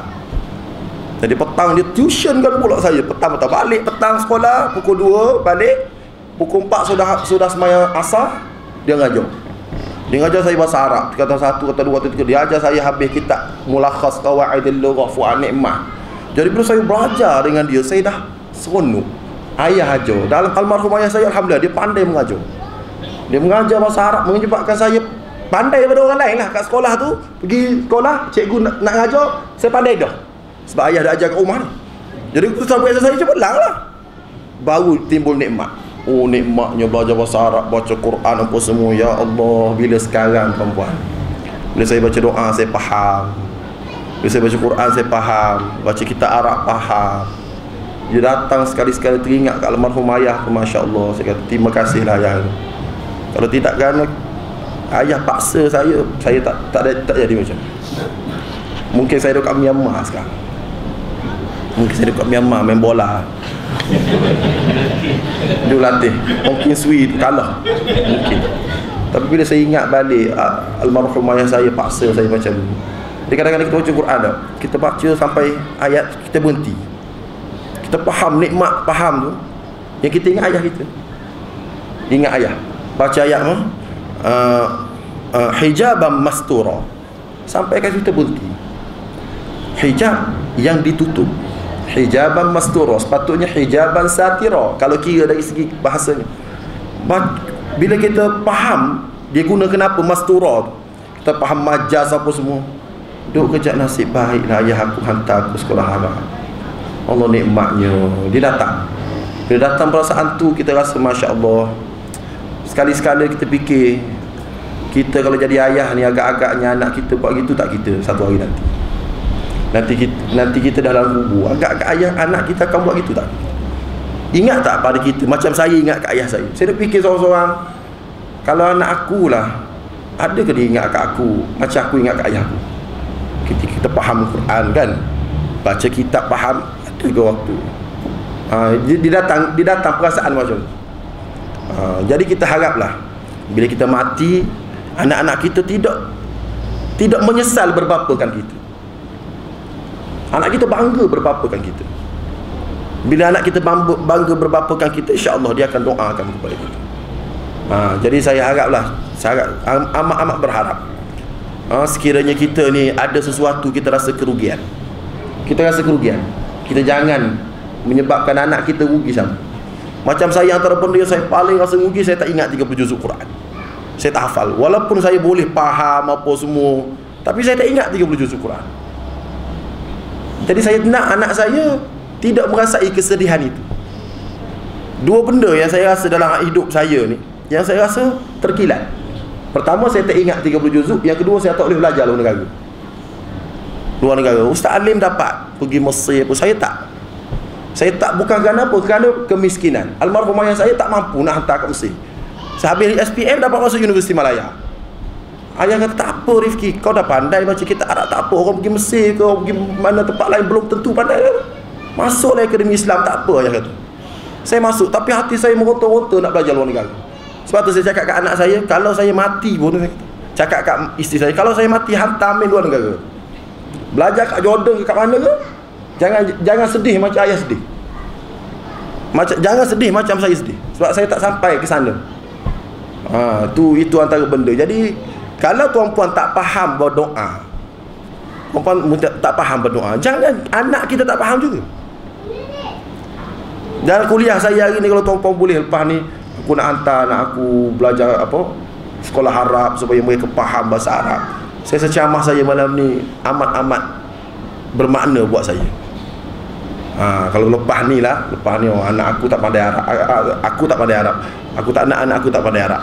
Maka aku nak suruh dia belajar bahasa Arab. Allah ustaz lambatnya anak kita semua tak belajar Arab seorang pun ustaz. Macam mana ni ustaz? Takut cucu ada insyaAllah. InsyaAllah. Nikmat tu Nikmat faham Arab ni Saya tak tak tahu nak cakap lah. Tanya Ustaz Ustaz Ustaz Ustaz Ustaz Halim.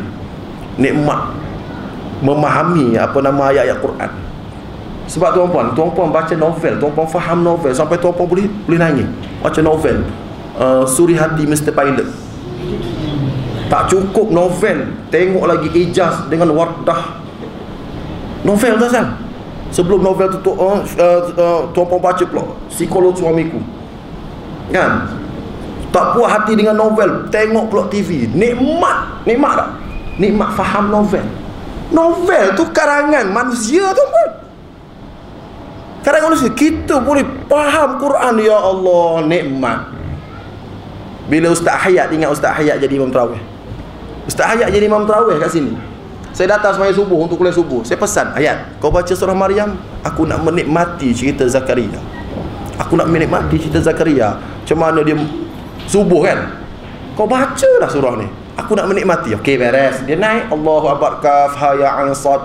Zikru rahmati rabbika abdahu Zakaria iznada rabbahu nida'an khafiyya. Dia baca saya dengar seronok. Seronok macam mana dia bermanja dengan Allah. Nabi Zakaria bermanja dengan Allah. Dia nak minta dia bermanja dulu. Iznada rabbahu nidaan khafiyya. Dia benar qala rabbi inni wahana al-'azmu minni ya Allah, tulang aku lemah dah. Washta'ala ar-ra'su syaiba, rambut aku pun sudah beruban. Walam akum bidu'aika rabbi syaqiyya. Tapi aku tahu aku kalau doa padamu aku tak pernah menyesal. Mesti kau bagi. Wa inni khiftul mawaliya min wara'i wa kanat imra'ati 'aqira aku bimbang siapa nak ganti aku cakap dengan Allah wa wa kana timraati akhirah isteri aku tu mandul ya Allah fahabli min ladunka waliya. Tolong bagilah pengganti untuk aku. Tolong bagi anak untuk aku. Yarithuni wa yarithu min ali yaqub. Waj'alhu rabbi radiyya. Yang akan ambil kepimpinan nabi Bani Israel daripada Nabi Yaqub sampai sekarang.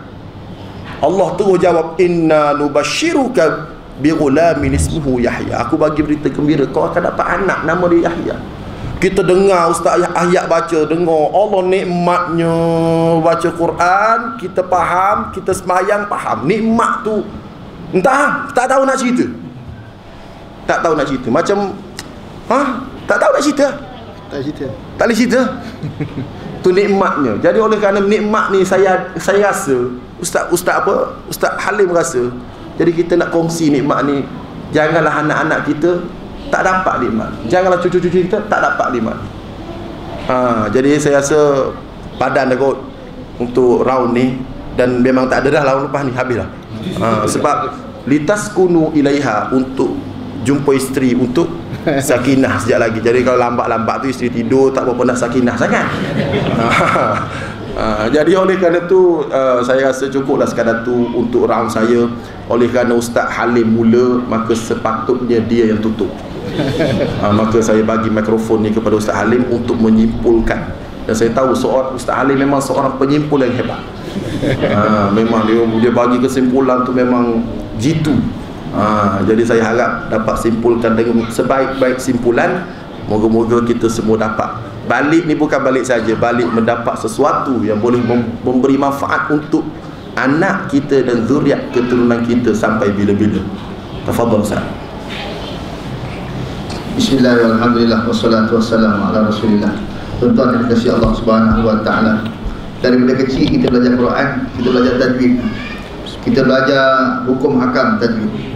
Sebab itu apabila dah besar Ramai orang komplain imam-imam tajwid. Tajwid tak betul apa tak betul. Kebanyakan begitulah. Bila imam baca salah sikit eh kita bicara baca apa ni? Alif lam mim. Tanzilul kitab la raib. Oh panjang fa. Gitulah tetapi jarang-jarang orang-orang yang mendalami, apa yang imam baca. Macam pagi tadi subuh. Kita baca surah sajadah. Tanzilul kitab la raib fihi min rabbil alamin. Al-Quran yang diturunkan oleh Allah Subhanahu wa taala tiada keraguan di dalamnya. Eh, tanzilul kitab la raiba fihi min rabbil alamin. Ya Allah, jangan kau jadikan aku orang-orang yang ragu tentang Al-Quran ya Allah. Bila dengar imam macam tak ada jarang. Yang faham pun kadang-kadang tak macam tu. Lagi kita yang tak faham.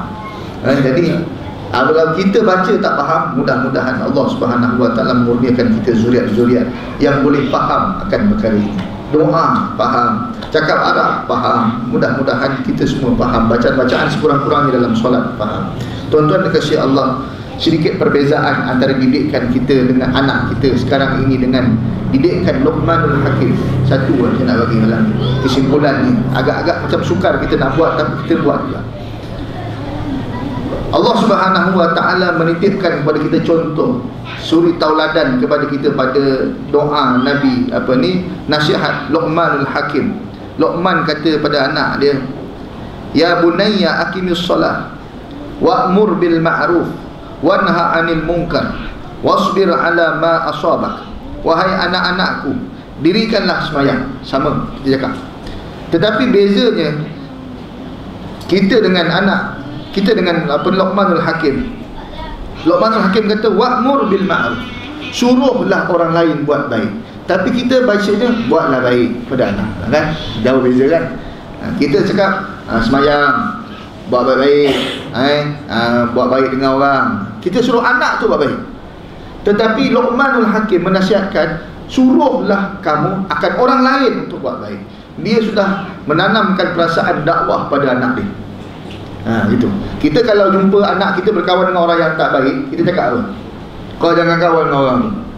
Kau baik, jangan buat macam dia. Jangan kawan dengan orang tu. Dia jahat dia. Tetapi Luqman Hakim, kau pergi jumpa dia. Suruh dia buat baik. Ha, gitu, lain. Ha, jadi, nasihat Luqman Hakim ini, saya belum belum tak terbuat lagi untuk anak-anak saya.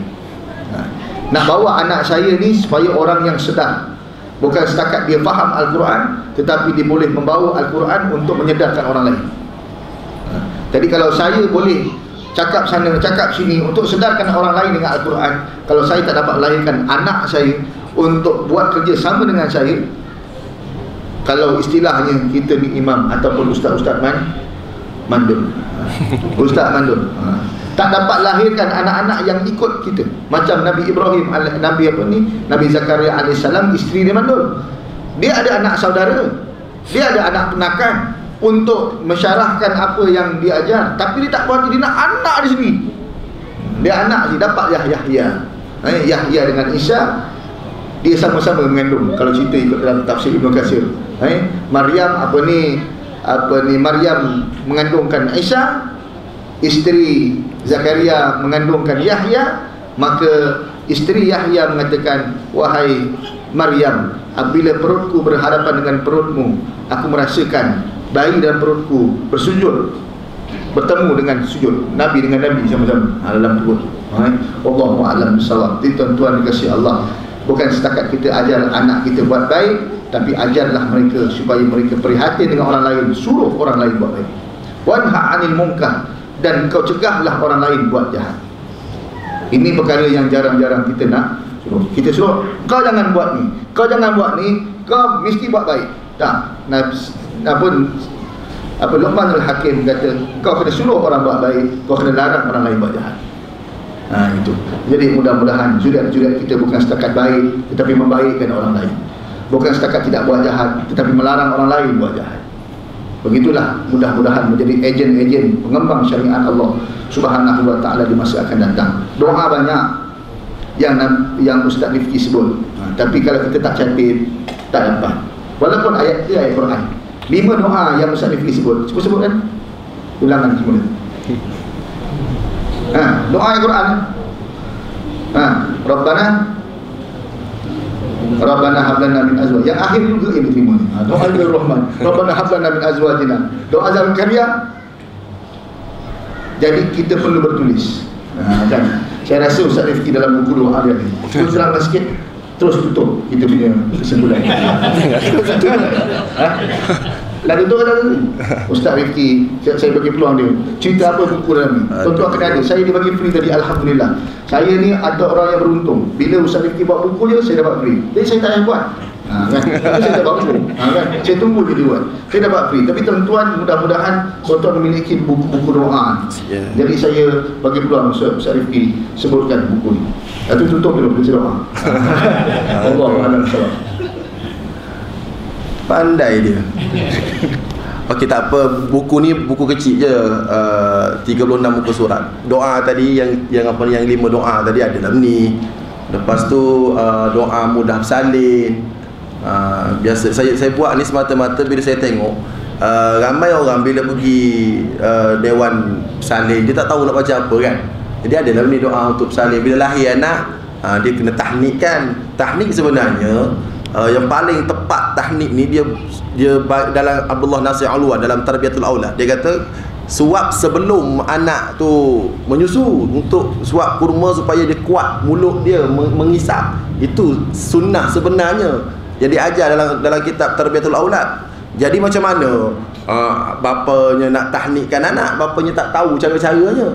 So saya buat sekali lah supaya benda ni mungkin tak berapa perlu waktu mula-mula kahwin. Tapi 9 bulan selepas kahwin dia cari. Ha, kan nak dapat anak. Oh, macam mana doa mudah salih ha, so saya buat kecil saja. Dulu dah ada yang versi besar. Versi besar tu 33 amalan soleh tu. Jadi saya buat versi kecil.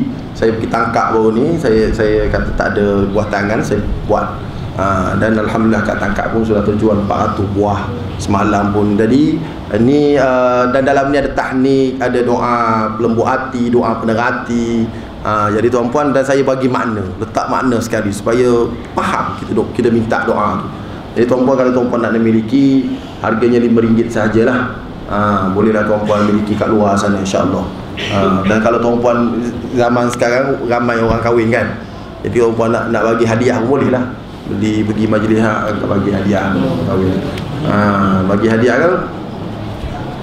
Biasanya kita pergi bagi majlis di majlis kahwin uh, tak bagi hadiah pada pengantin. Uh, bagi hadiah buku ni. Uh, bagi hadiah buku ni untuk untuk dia uh, untuk dia bersedia 9 bulan lagi. Uh, untuk doa doa apa doa ni. Kalau kali tapi doa yang pegang apa? Pegang bubun tu dah ada buku satu lagi. 33 amalan memperoleh anak saleh tu doa pegang bubun tapi uh, buku tu uh, dah apa nama di di orang lain yang, yang, yang cetak bukan saya. Uh, jadi kalau kalau bagus dapat buku tu bagus. Pergi ke apa nama uh, orang yang nak kahwin tu pegang ha ni ambil doa ni. Malam pertama kau baca buku ni dulu. Pegang mana mana tempat pegang sepetak patutnya kat mana dulu. Kat kubur-kubur apa semua. Lepas siap tu ha baru.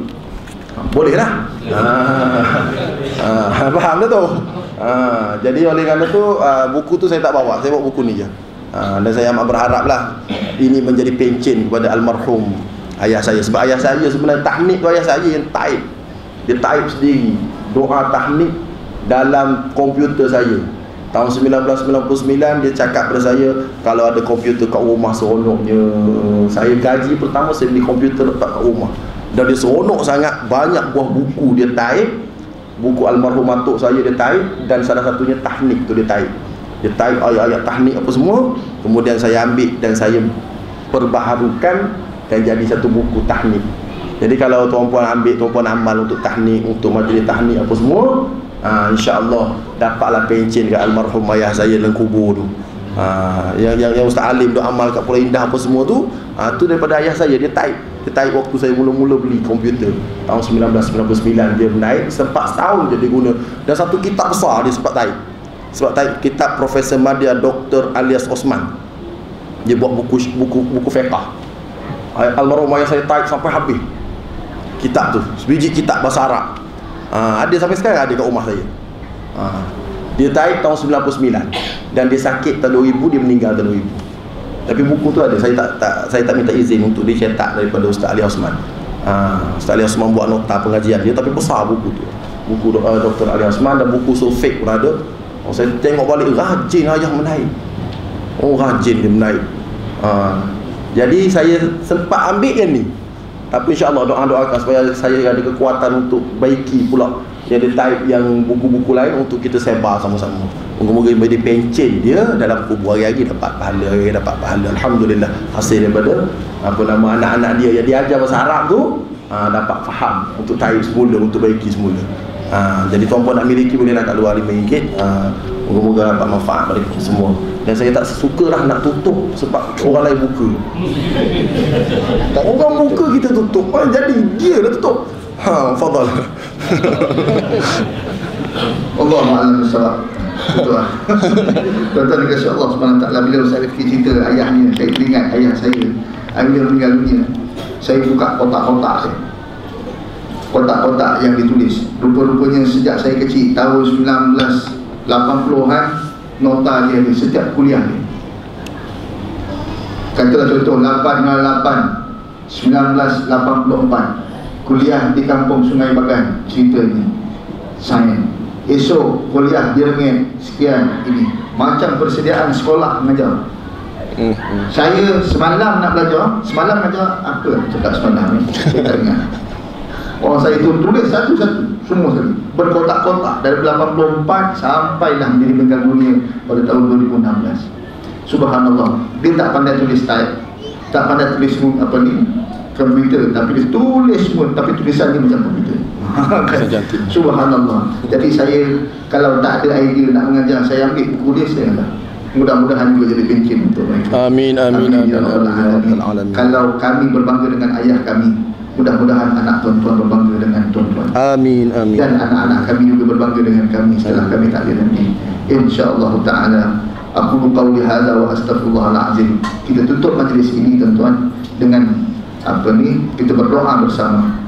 Mudah-mudahan Allah Subhanahu wa taala memberikan keberkatan kepada kita semua dalam membesarkan anak eh, bukan membesarkan isteri membesarkan anak membesarkan keluarga kita dengan keluarga yang bahagia insyaallah taala a'udzubillahi minasyaitonirrajim bismillahirrahmanirrahim alhamdulillahirabbil alamin wassalatu wassalamu ala asyrafil anbiya'i wal mursalin wa ala alihi wa sahbihi ajma'in ربنا أوزعنا أن نشكر نعمتك التي أنعمت علينا وعلى والدينا وأن نعمل صالحا ترضاه وأصلح لنا في ذرياتنا إنا تبنا إليك وإنا من المسلمين يا الله يا رحمن يا رحيم Pada malam ini kami mengangkat tangan yang penuh dosa dan noda ini ya Allah Kau ampunkanlah dosa-dosa kami ya Allah Amin. Sama ada dosa kami besar ataupun kecil Dosa yang kami masih ingat ataupun yang telah kami lupai Dosa-dosa yang kami telah lakukan pada waktu silam ya Allah ampunkanlah dosa-dosa kami ampunkanlah dosa ibu dan ayah kami ya Allah. Ya Allah sekiranya ibu dan ayah kami semasa kami dibesarkan mereka kurang melakukan amalan-amalan kerana membesarkan kami ya Allah. Ampunkan dosa-dosa mereka ya Allah. Amin, amin. ya Allah sekiranya mereka membesarkan kami semasa mereka membesarkan kami mereka tidak sempat untuk melaksanakan ibadah-ibadah dan menyerah padamu ya Allah. Ampunkanlah dosa-dosa mereka ya Allah. Ya Allah sekiranya semasa membesarkan kami ayah kami dan ibu kami lalai dalam mengingatimu ya Allah. Ampunkanlah mereka. Ampunkanlah segala dosa-dosa mereka ya Allah. Ya Allah sekiranya mereka ada meninggalkan sembahyang mereka semayang dalam keadaan najis. Semasa membesarkan kami ya Allah ampunkanlah dosa-dosa mereka ya Allah. Sesungguhnya Nabi mu berkata kebanyakan azab kubur adalah kerana najis-najis ini ya Allah. Ya Allah ampunkanlah mereka ya Allah. Jangan kau siksa mereka dalam kubur kerana kami ya Allah. Ya arhamar rahimin. Rabbana atina min ladunka rahmah wa hayyi lana min amrina rasyada Rabbana atina fid dunya hasanah wa fil akhirati hasanatan wa qina azaban nar wa qina azaban nar wa qina azaban nar وصلى الله على سيدنا محمد النبي الأمي وعلى آله وصحبه وبارك وسلم والحمد لله رب العالمين تقبل الله منكم Sekian tadi tuan-tuan Celetih kami berdua di depan ni Sampai pukul 9 lebih hari Jadi mudah-mudahan Allah memberikan keberkatan Pada pengantin esok Dan kita mendoakan agar Majlis uh, Walimatul Urus apa ni Dr. Wazir akan selamat dilaksanakan tanpa gangguan insyaAllah Ha? Eh. Anak ni. Ha? Astagfirullah. Allah. Kenapa saya tersilap saya pun tak tahu. Mungkinlah ada kena mengenalnya Allah. Tapi uh, jangan perasan lah tuan ya. Jadi mudah-mudahan uh, anaknya, perkahwinannya eh, uh, dapat diberkati dan dilindungi Allah Subhanahu Taala programnya esok insya-Allah berjalan lancar. Aku lu qauli hadza wa astaghfirullahal azim. Wassalamualaikum warahmatullahi wabarakatuh. Assalamualaikum warahmatullahi wabarakatuh